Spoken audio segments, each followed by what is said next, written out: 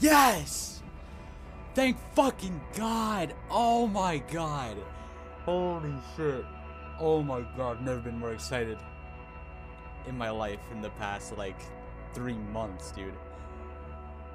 I haven't got anything this big of an achievement in like since like October. I beat Windy Landscape in October. It's January 11th, 1:05 p.m.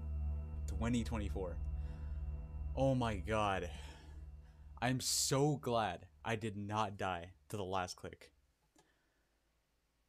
yes, dude.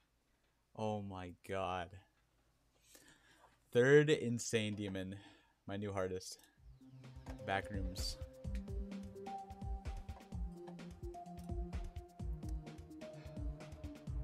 So I definitely lost quite a lot of attempts.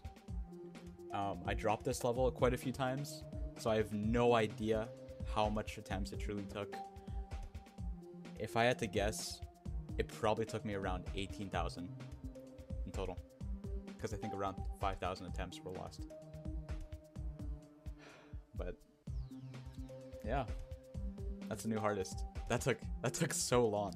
I started this back in middle of September, and I dropped it to do Windy Landscape, and it still took forever.